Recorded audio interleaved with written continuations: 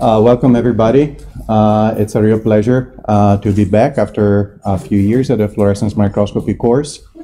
Um, and today I'll try to give you a little bit of an overview about um, some of our most recent activities developing new technologies uh, to uh, dissect uh, cellular pathways related to transcription. And so I'll start, the talk is divided in four main parts. I'll start by giving you uh, a very brief introduction about the concept of screening in general and about high throughput imaging. And I'll then uh, move to uh, some of our recent developments uh, in uh, technologies to perturb uh, gene function in a systematic manner using CRISPR knockout reagents. I'll then uh, switch over uh, to an assay development story related to uh, an imaging-based assay uh, to uh, um, visualize and quantify uh, RNA using an amplified RNA fluorescence in situ hybridization technique. And then I'll conclude by basically bringing everything together and tell you a little story about a pilot screen, pilot CRISPR screen that we run to study uh, factors, epigenetic factors regulating interferon-stimulated genes or ISGs uh, expression uh, in uh, cells. So um, the problem here is to how to study uh, gene function. And so from a very broad perspective, to study gene function, we need to have an experimental perturbation uh, and in general, with functional genomics, uh, these fall into one of these three categories. So we can knock out a gene, so completely ablate it. Uh, we can induce the expression uh, of uh, a gene, so um, increase its expression level in the cell of its product, not of the gene per se, or we can inhibit its expressions. And all over the talk today, I'll be talking about protein coding genes. So uh, genes that express uh, um, a protein factor that has an, um, um, uh, a function uh, in the cell. I won't be talking about non-coding, uh, non-coding genes or long non-coding RNAs. We then need to have a, bio a biological process or a phenotype uh, of interest or an assay to measure the effect of this perturbation. And the output of this biological process needs to result into a measurable readout of some sort uh, that we can quantify and use as a yardstick uh, to, um, um, to measure uh, the effect of this perturbation on the system. And the readout, in very broad terms, uh, doesn't need to be imaging based. Uh, can also be molecular, can be uh, also biochemical. Today it's going to be about imaging based readouts for the most part. And so having uh, these uh, three things, uh, now the challenge, uh, since we want to do uh, functional genomic screens, is to uh, basically test gene function, not just one gene at a time, but to do it on a large scale. And so one of the most recent gene annotations models, the GENCODE models, predicts that there's about a little bit over 19,000 genes in the genome. And so we need to have um, a perturbation, an assay, and a readout that scales up to uh, tens of thousands of uh, perturbations. So uh, how do we do this? Uh, we can do this via screening. And the concept of screening is pretty simple. So if we need to test one gene, let's call it gene X1, and we wonder what its effect is on uh, the readout of interest, we perturb the function of gene 1 somehow, in this case, we eliminate uh, its expression, for example, or we knock out its uh, genomic DNA. And uh, we can see, for example, in this hypothetical case, that the readout doesn't change. And this tells us that X1 is not involved in the biological process of interest. And we can, repeat and do it this uh, separately. And so we can knock out gene 2. We can see, just as a pure parallel example, that uh, the readout values increase, increases, we can say that uh, GeneX2 is an inhibitor of this process. We do it for gene 3, we see that the readout uh, decreases. Uh, again, as an example, we can determine that GeneX3 is an activator. And so on and so forth for thousands of genes, so n genes. Now, and this is again where the problem uh, arises. um, gene, gene edits noticeable. Where in high throughput screening, the N tends to be very large. And so we can just do a Western blot or just an immunofluorescence uh, using um, um, uh, manual uh, fluorescence microscope because the number of perturbations and that, that we need to um, uh, apply and, and measure uh, ranges between hundreds to tens of thousands. Uh, I'll just mention briefly uh, two uh, fairly different ways to, to screen. I won't talk about uh, pooled screening today, but it'll be it would be uh, borderline criminal uh, not to mention uh, pooled functional genomic screens these days, because the vast majority of functional genomic screens using CRISPR in particular these days it's run in a pool format. Uh, so in a pool format, what we do is that uh, we produce we produce a library containing um, 20 to 100,000 uh, different uh, CRISPR treatments in a lentiviral vector in a single uh, gigantic viral prep. We transduce the, the cells of interest at low MOI so that a single cell gets, um, on average, one or fewer lentiviral vectors integrated in the genomes. Uh, we uh, select uh, these lentiviral vectors with a selection marker so that we eliminate cells that are not transduced. And then we end up with a heterogeneous pooled cell library that contains all the perturbations in the library in a single gigantic pot. And now the, the question is how to measure the effect of these perturbations on the cells uh, using a technology that allows us to deconvolute the, the, the pool of uh, perturbations. And this is mostly uh, done through uh, next generation sequencing. Uh, but uh, these days, uh, I just want to mention that there's uh, new approaches to do this with also visual phenotypic readouts that are based on, on imaging. But I won't talk about this today. Today I'm going to talk about array screening, which has been around for, um, I'd say, longer. and in array screening, we work with multi-well plates uh, and it's called array because these multi-well plates are basically arrays of uh, wells. We grow, just zooming in on a few of uh, these wells. Um, cells are uh, grown in uh, these uh, wells that are physically separate. And each well gets one and only one perturbation. And so by um, measuring things in this well, we know that these cells have gotten only that uh, perturbation, uh, these cells got another perturbation, and so on and so forth. So cells are separate, uh, the readouts uh, are uh, separate. And so we know that this well uh, received this treatment, and this is the results of the readout measurement. Full screens are, um, let's say, easier to run because there is only one gigantic plot. They're more difficult to read, especially with uh, imaging readouts. Array screens are much, much easier uh, to um, uh, image and uh, to uh, analyze, but the drawback uh, is that there's a lot of more work upstream to seed the cells and treat the cells in separate wells. So there's no free lunch, as usual. Now, as far as high throughput imaging or HTI is concerned, the idea about high throughput imaging is that um, in, in a traditional fluorescence microscopy uh, workflow, uh, we have an imaging-based uh, cellular assay that we can uh, measure uh, with a microscope.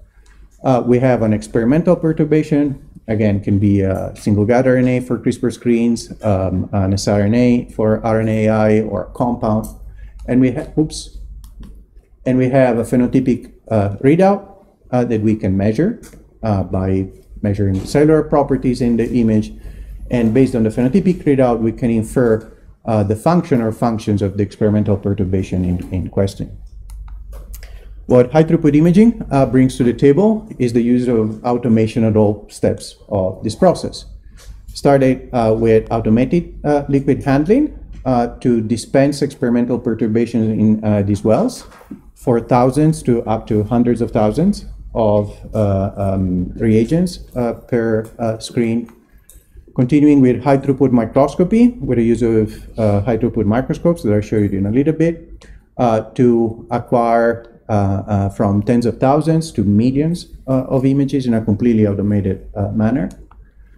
To the use of high content image analysis to automatically analyze these millions of images to um, segment and produce single cell data for millions of cells per screen, and most importantly, to measure not one, not few uh, cellular properties uh, on a per cell basis, but up to uh, tens to thousands of cell of, of cell, ten of thousands of cellular properties that can be used with um, also with machine learning approaches to quantify complex cellular phenotypes.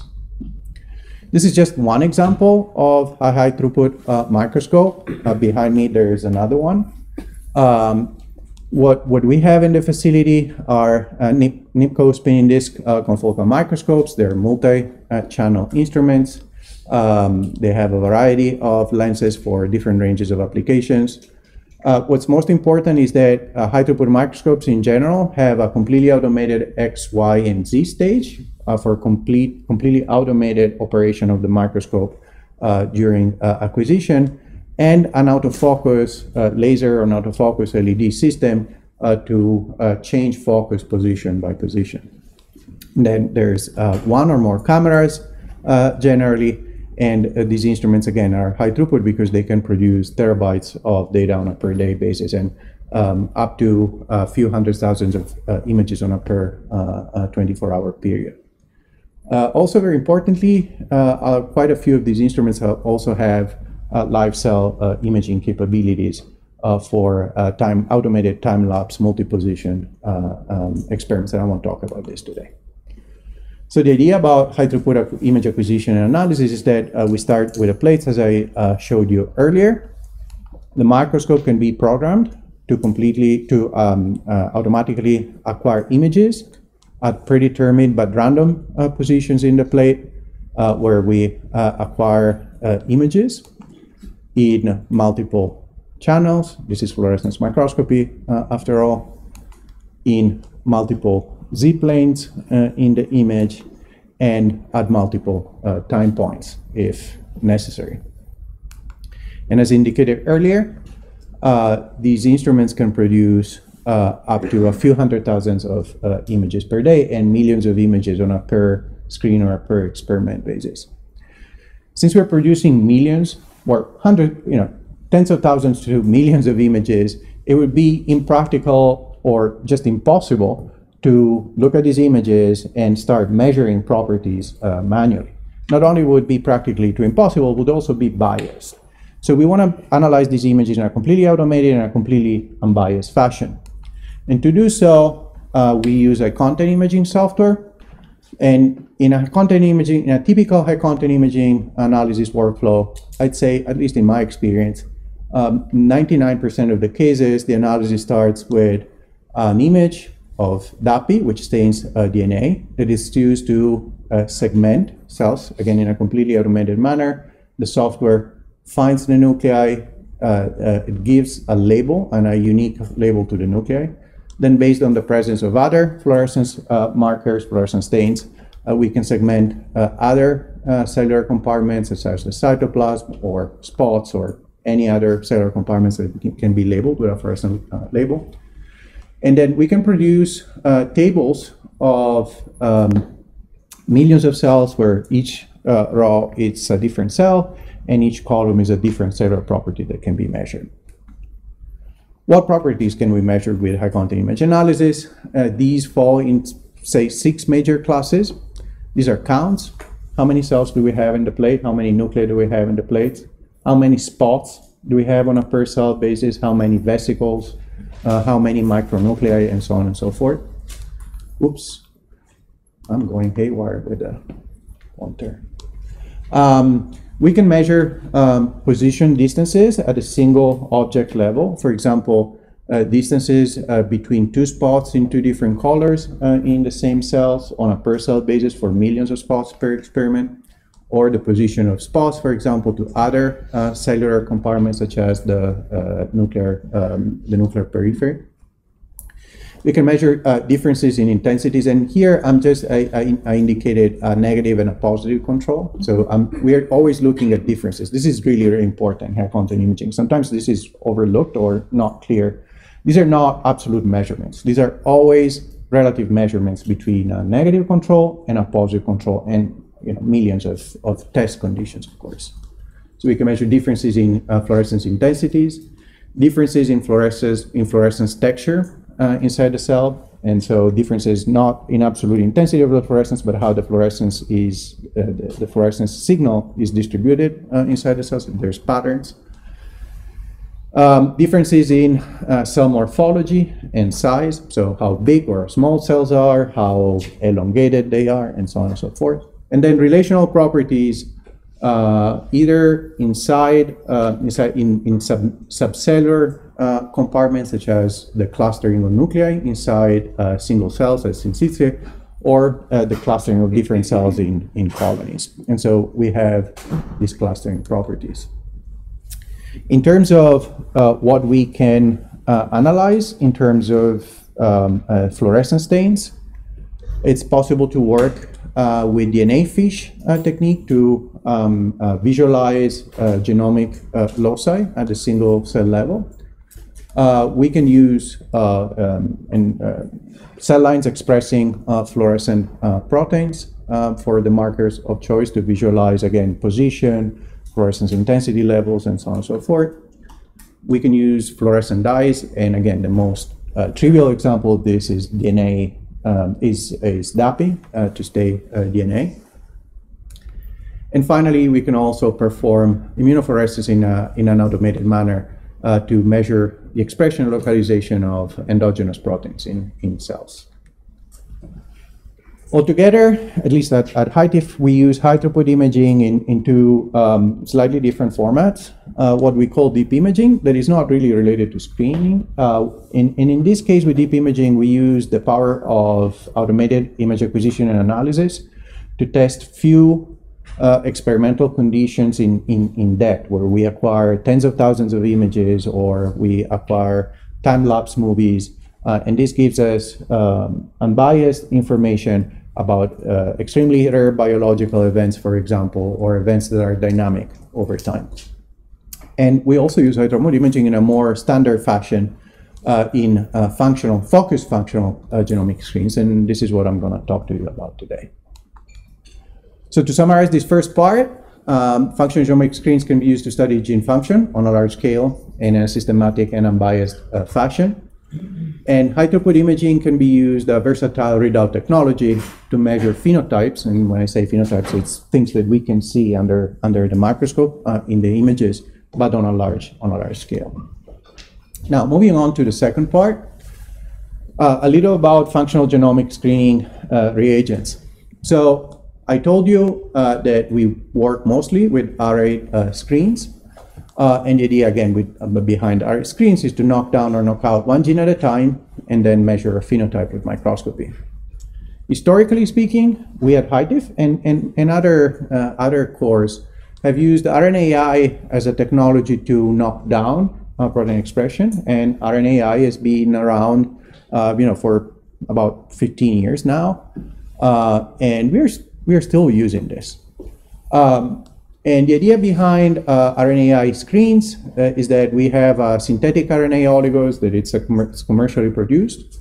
We can spot it at the bottom of 384 well plates uh, using automated liquid handling. We can reverse transfect cells with a transfection reagent. The uh, um, RNA, uh, siRNA oligos get into the cells. Um, they knock down protein expression, and then we incubate for 72 hours to wait for the, the knockdown to take effect fix and then stain with a stain of, uh, of choice and then, and then image. The problem with RNAi uh, is that RNAi as a technology has a substantial off-target uh, effects and uh, partial, uh, partial penetrance. And so for this reason, uh, we and others have decided to um, try and transition from RNAi to another uh, technology to um, um, perturb gene expression, uh, which is based on the CRISPR-Cas9 uh, system uh, to knock out, so to completely eliminate uh, gene expression in, in target cells. And the system works in this way. So we have our gene, our gene of, um, of choice, coding for protein factor X. It has start, um, and this is genomic DNA. Uh, there's uh, the gene, uh, in the gene, there's a start, the, the starting position for the uh, CDS. Uh, and then, of course, we have introns and we have exons. Uh, with CRISPR knockout, what we do is that um, single guide RNAs are designed, and these are also commercial products, and they're synthesized. again, these are synthetic products. And the single guide RNAs can program the Cas9 uh, endonuclease to bind and specifically uh, introduce double strand uh, breaks at specific regions of the genome. And in this particular case, what we do is that uh, we have three different single guide RNAs that have different uh, sequence specificity for the same gene in the same exon in a 50 to 100 base pair windows. The result of this is that uh, thanks to, and I, am not showing Cas9 and the single guide RNAs here, is that uh, we have the um, Cas9 ribonucleoprotein, the program Cas9 Cas DNA here, uh, in, and th there might be different cuts in different cells, but overall we have three cutting sites. The cutting sites are uh, repaired by the DNA damage repair machinery, and the DNA damage repair machinery, there are several mechanisms, we're not going to get into details, but these, uh, these cuts are repaired in an imprecise fashion, uh, fashion. And so we have both introduction of um, uh, insertions and micro deletions or indels. These uh, indels um, create uh, small deletions that can per se have a, a function on, on, on, uh, on the function of the, of the, of the protein. but they can also include frame shifts. And when a protein goes into frame shifts, the mRNA will express a bunch of uh, stop codons that were not there in the original wild type uh, gene. And these stop codons are either uh, sensed uh, by the mRNA uh, nonsense mediated uh, decay mechanism in the cells that lead to the degradation of the mRNA, or if these mRNAs are translated, they lead to truncations that can be extensive, or and or uh, to uh, protein quality control mediated degradation. All these mechanisms result into ablation of protein function and, uh, in cells that carry on this, uh, these edits. This was our first attempt at using uh, single guide RNAs in a high throughput fashion. Uh, we used cell lines that are expressing Cas9, stably expressing Cas9, and we transfected these single guide RNAs, a control, uh, not, not, not cutting anywhere, and a single guide uh, pooled uh, of RNAs against the lamin A gene. We produce a lamin A, which is an essential component of the nuclear envelope, as you can see here. And this is 72 hours post-transfection. And here the idea is that we stain these cells. I have DAPI in magenta and uh, um, an antibody IF against the lamin A gene, uh, which of course is expressed in all cells at pretty stable uh, levels when we knock out lamin A expression, uh, lamin A is knocked out in more than 80, 90% of the cells, which is what we want. Since we're using high content imaging, uh, we can all, and high content image analysis, we can also quantify this at the single cell level and also at the, at the well level. I'm not gonna go through all this data, but the idea here uh, is that we can knock out a lamin A expression. We have um, lamin A intensity on the y-axis, at several different, at fairly low concentration of transfection reagent and at very uh, low concentrations of the single guide RNA itself. So this is seems to be fairly uh, efficient. Uh, we also wanted to start uh, testing whether by knocking out a gene we can actually not just measure the level of the protein that is knocked out, uh, which was you know kind of a good first control, but also to check whether uh, we can see phenotypes uh, and to look for a simple, silly phenotype that was easy to quantify, uh, we decided to knock out uh, the uh, pCNA uh, DNA replication uh, clamp loader. and this was known, this is a factor it's known that when it's knocked down or knocked out, cells, I think they arrest in S phase. Anyway, it's known that the nuclei get, get larger. and what you see here is this is exactly what we observed in our condition uh, indicating that by knocking out the gene, we can actually now measure a phenotype. And again, uh, this is the quantification um, just to measure, quantify these, these effects. So to summarize the second part, uh, CRISPR knockout or KO can be achieved with reverse transfection of synthetic guide RNAs and 304-well imaging plates. The knockout is extremely efficient. We can measure uh, phenotypes. And as a corollary to, cor corollary to this, um, we uh, and others uh, need stable cell lines that are expressing Cas9. Uh, and this is an approach that uh, works in different cell lines that we tested, and I'm not showing you here today. Now, moving to the third part, talking about uh, an assay uh, to uh, measure a biological process. Uh, we and others have uh, used the throughput imaging, as indicated before, uh, to visualize DNA, to visualize proteins, but at least in our hands and in other hands as well, uh, not much was known about uh, assays to measure RNA in a high throughput manner, with exception of a few uh, papers uh, from the Peltmans uh, lab uh, from a few years ago. So why would we want to visualize mRNA in a high throughput fashion? The first um, and simplest target are mature mRNAs to measure gene expression, and this is what I'm going to tell you about today.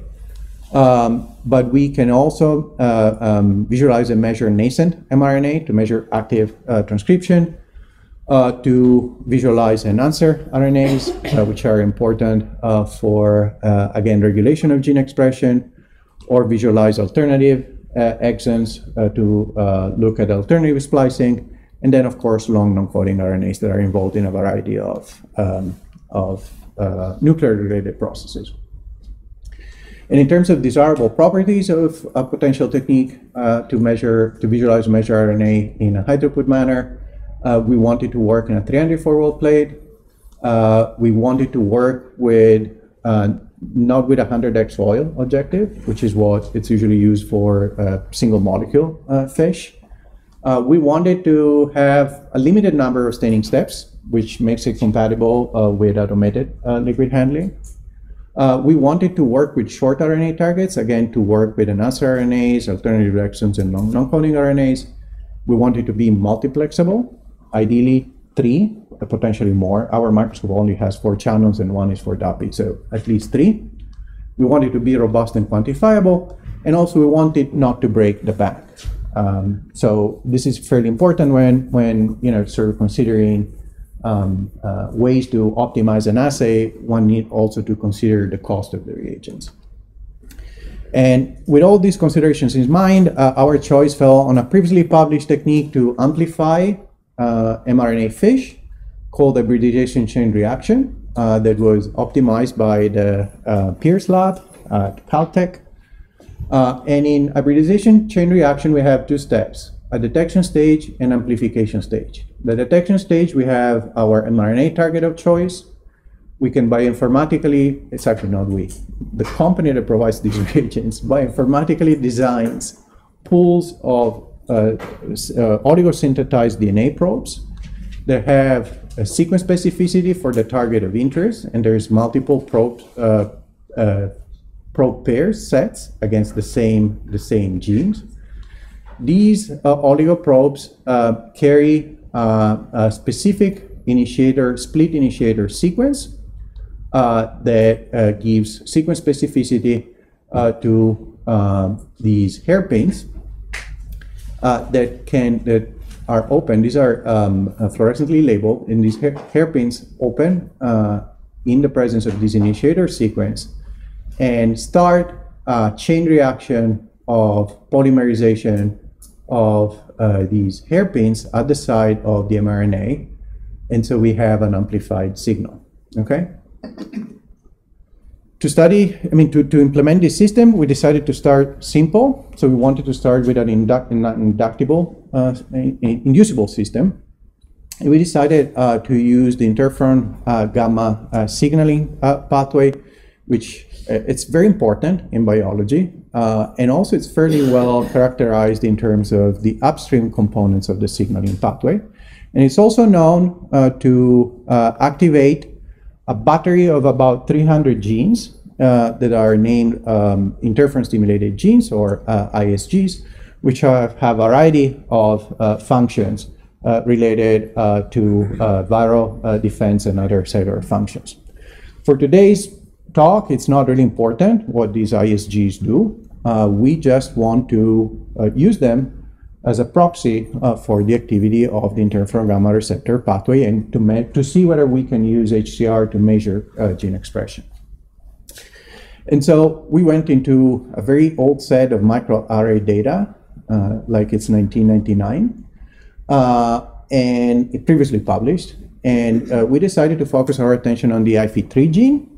Again, not really important what IP3 does. We chose IP3 just because we observed uh, from uh, this data set it was induced between um, uh, 30 to 40 times in uh, human fibroblasts. And so it gave us a good window uh, to measure uh, gene expression. So these are our results of our first results of measuring IP3 expression in cells that were either not treated with interferon gamma. So this represents the basal levels of expression of IP3 in cells in green. We also have a housekeeping gene, HPRT1, which is uh, predicted not to change, uh, whose, uh, whose expression levels are predicted not to change. And so you see, well, you kind of see here uh, these dots. These represent mRNA molecules in the cells. There's quite a few magenta spots, uh, HPRT1, few to no uh, um, green spots, uh, which represent IP3 when we have uh, we, when we don't have interferon gamma. When we add interferon gamma and then wait and then fix cells at uh, um, subsequent times, we have not much happening at 15 minutes. At 30 minutes, we get some cells that are starting expressing. 60 minutes now, all cells express uh, mRNA. 120 minutes now, cells are blasting expression. And at 240, uh, it's a Christmas tree. So it's completely uh, light up and all cells express. Also, interestingly, uh, these probes are against mature mRNA, so they should just be in the cytoplasm. Uh, we think that uh, we also see these uh, large foci, fluorescent foci inside the nucleus, generally one or two, and these might actually represent nascent mRNA in sites of active transcription in the cells, but we are not quantifying those. We are quantifying these spots in the nucleus, in the cytoplasm, which represent likely represent mature mRNA. Just in terms of analysis, this is fairly simple. It's one of the easiest uh, high content image analysis pipelines that we have. We find the nuclei using the DAPI. We find the cytoplasm using the background of signal of DAPI uh, in the cytoplasm. And then uh, we use spot detection algorithms uh, to find the spots and then to count them. And so we, as a proxy of gene expression, we're basically saying how many spots do we have on, in a cell there's more spots, there's more expression, fewer, fewer spots, low expression. These are, uh, this is single cell data at uh, different uh, time points, indicated here in different colors, and at different doses of uh, interferon gamma. As you can see here, we have for IP3, we have uh, low to no expression at time point zero, increasing uh, expression, the, the, entire distribution shifts to the right. Uh, at, at uh, later time points, HPRT1 does not change. Uh, this is not just true at the single cell level. Now, if we summarize things uh, at, on a per well level, which is usually what we use for screens, uh, we also see a nice induction that it's not only time dependent, but it's also dose dependent. And again, for HPRT1, there's no change. So to summarize this third part, uh, fish can be simultaneously, simultaneously used to uh, visualize up to three mRNA targets. I showed you two today, but we, we tested it up to three, and it works. Uh, it provides information both at the single cell level and at the well level. Uh, it is compatible uh, with liquid automation. This is just on one line on this slide. It took us a year and a half to, to, to optimize it. Uh, and I'm not going to talk to you about this today. Uh, today I'm going to talk to you about ISGs and mature mRNAs, but we already used it in collaboration uh, with other researchers at NIH uh, to quantify alternative uh, splicing and to quantify uh, gene expression uh, responses to um, immuno, um, um, immunostimulants and immunosuppressors in, par- in primary human purified blood cells. And these are the citations if you want to go and check. Now, to bring everything together, uh, we have a technique to knock out gene expression uh, in, a, in a high throughput manner. We have a way to measure uh, gene expression of ISGs in response to interferon gamma. Um, the question is now, can we use CRISPR-Cas9 to uh, screen uh, for epigenetic factors that are regulating the expressions of ISGs in the cells expressing Cas9? And this is very important because the signaling, the upstream signaling pathway is very well characterized and is a pretty linear pathway, but much less is known about um, uh, factors, cellular factors that regulate the expression at the chromatin uh, level. And so here I'm showing you controls, uh, sgRNA controls uh, in this uh, interferon gamma and IP3 uh, assay. To recapitulate, this is what I showed you earlier. These are different cells, but uh, the idea here is that when we do not add interferon gamma, we have HPRT1 uh, and IP3. HPRT1 is expressed, it's a housekeeping gene. IP3 is not expressed. We add interferon gamma, we have induction of expression. We had a scramble uh, single guide RNA that does not cut anywhere in the genome. Nothing happens. This is a single guide RNA against an olfactory receptor gene. And we hope that an olfactory receptor gene is not expressed and is not doing anything in colorectal cancer cells. Uh, but the, the DNA, the genomic DNA is still there. And so this serves as an important negative control for DNA damage responses that might have an effect uh, in our assay. And what you can see here is that by, just by cutting with, a sing, with single guide RNAs, uh, nothing seems to change for uh, IP3.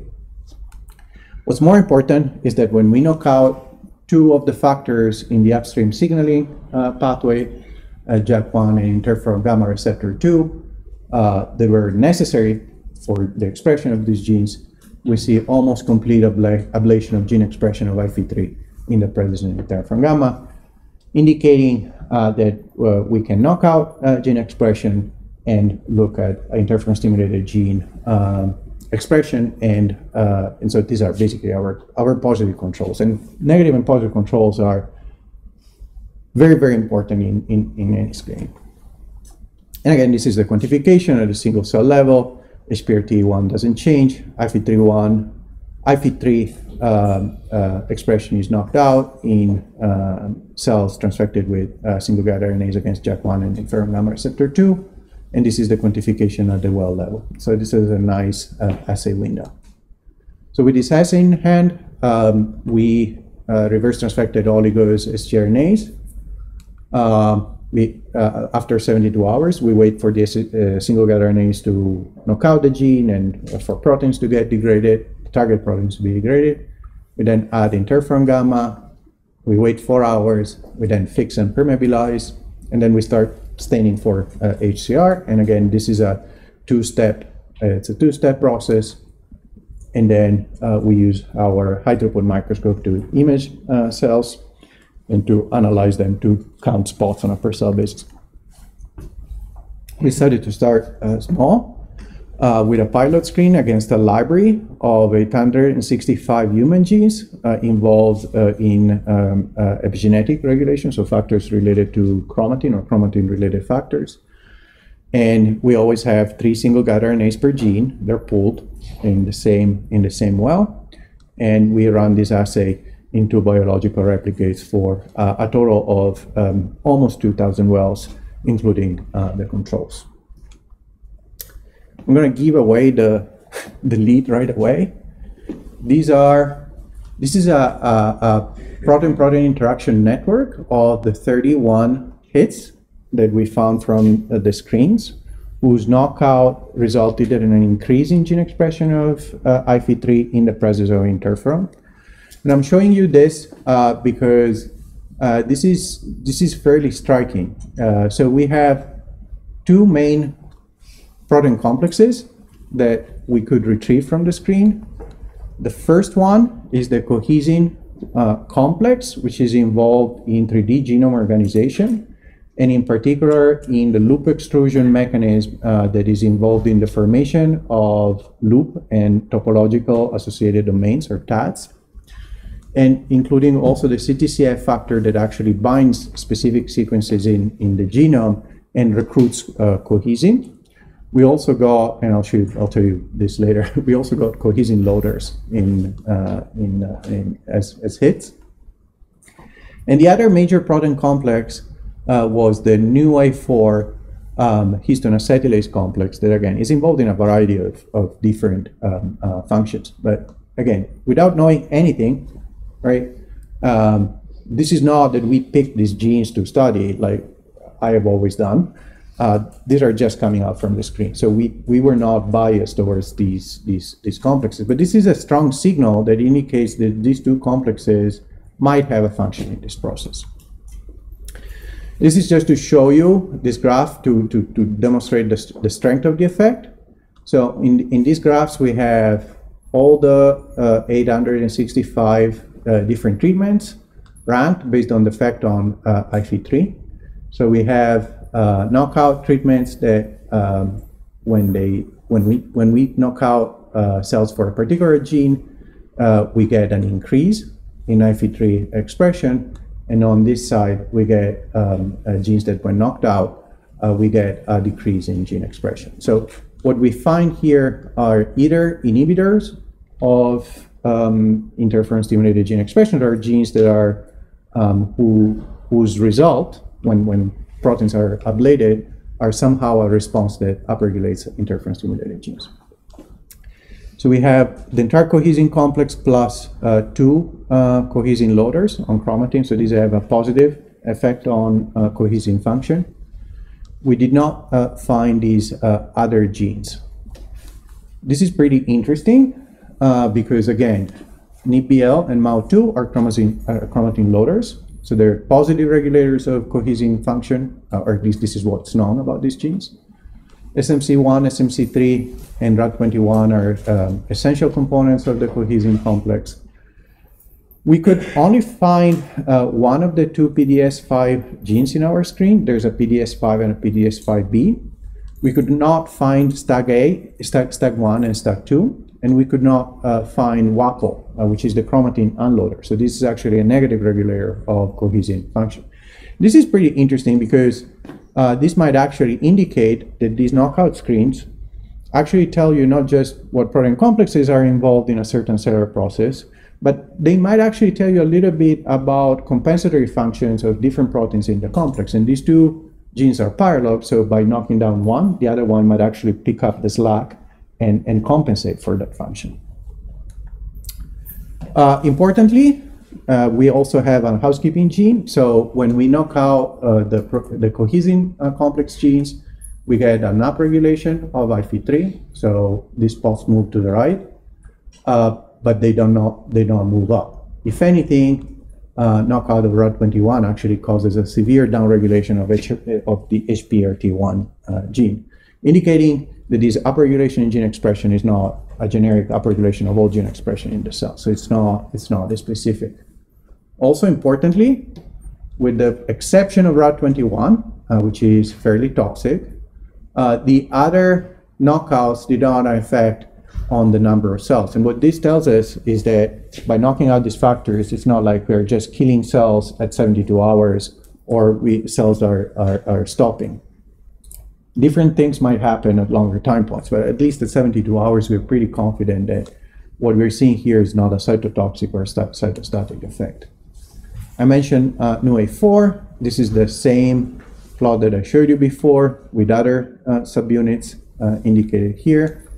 Again, as for the uh, cohesin complex, we could find five, uh, six out of 11 of the previously uh, um, uh, identified subunits of this complex in, in, in human cells, indicating that this uh, knockout screening is fairly um, efficient in pulling out gene functions from these screens.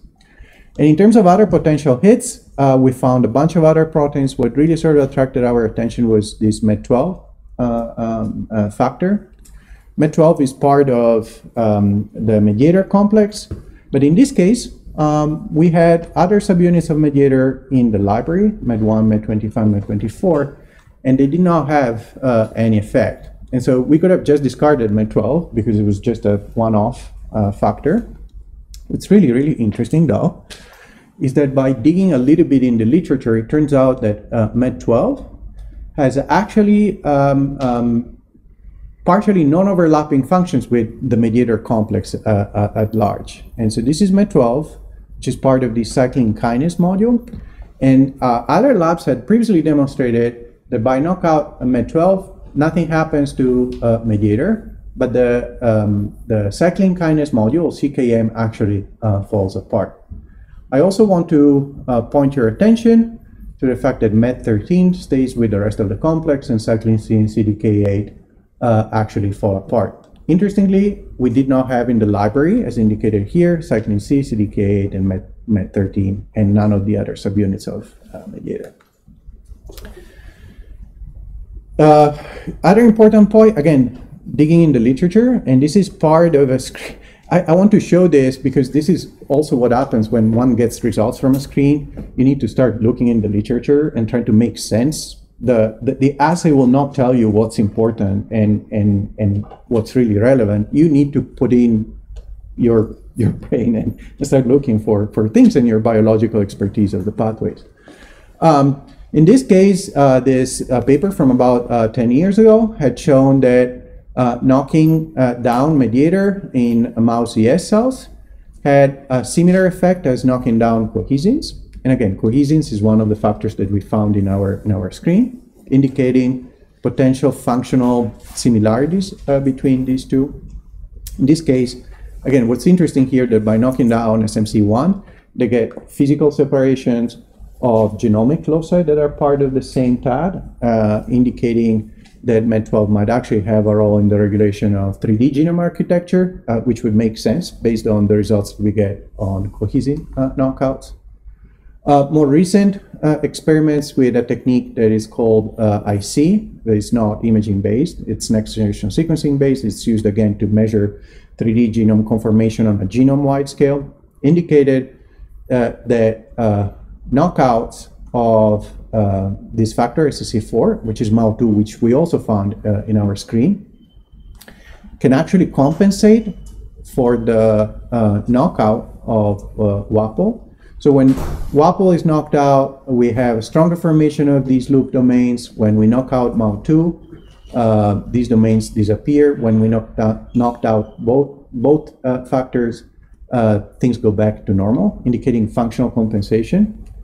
Uh, this is again not not our data. These are other data in the literature. And what's very interesting, more recent data from the same lab also indicated the knockout of MED12 has a similar effect as uh, the cohesin loader and can uh, uh partially compensate for the knockout of WAPO, indicating that again, what we might be looking at here might be a 3D genome conformation uh, effect that might actually have an, an effect on the expression of ISGs. Before going into uh, any extensive uh, molecular mechanism, though, like in any other screen, we decided to validate these hits. So we reorder all the single guide RNAs that were hits in the in the library, plus other guides that were not present in, in, in the library for um, a few key protein complexes. Uh, I'll briefly go through. Uh, we, uh, again, retrieved NIPBL, SMC3. They had an effect on IFI3. Uh, the other subunits that had an effect on our screen did not did not have an effect in the validation. Mediator, MED12, again, very strong. Uh, we could also, these two factors were not in the original library. Uh, we get a similar effect indicating that cyclin kinase module might actually be at play here. Other mediator factors, again, validated as being non-relevant uh, for uh, this uh, process. Uh, several subunits of the NUA4 complex uh, validated, whereas subunits that were not hits in the screen also did not validate. So we are reproducing the data. And again, we could also find beta-catenin. I'm going to skip this. Now, we tested only one gene at the beginning. So the effects that we might have seen were only on, on IFI3. This has nothing to do with ISGs in general. So we tested another interferon regulated gene, IFID1, we saw similar effects uh, with knockdown of NIPBL, again, cohesin loader, MET12, uh, and several components of the NUA4 complex. This is another gene, IFI2. So now we have three genes that are regulated, so it's likely not just a one gene uh, effect. But most importantly, uh, when we tested uh, other uh, genes with a completely independent technique, uh, QRT-PCR, to measure gene expression, what we saw is that uh, knockdown of NIBL, MED12, and TRAP1 not only strongly activated gene expression in the presence of interferon, uh, and here we have uh, a battery of five interferon stimulated genes, IFE3, IFE1, IFE2, DDX58, and IFEH, but also, and kind of unexpectedly, uh, activated expression of interferon stimulated genes in the absence of uh, interferon. And I think there's two main key points here. Uh, the first one uh, is that, again, we are getting these effect in the absence of interferon, indicating that knockdown of cohesin and NUA4 and MED12 might actually be sufficient by itself to activate interferon stimulated uh, gene expression, not at the level of interferon stimulation per se. And the second one is that, again, it's really, really important when you're validating uh, genes from a functional genomic screens to use a completely independent technique to make sure that what you're seeing are not technical artifacts. And finally, uh, with a completely different uh, technology uh, to knock down uh, uh, protein expression, uh, I'm not going to go into detail here. This is chemically induced acute degradation of RAD21.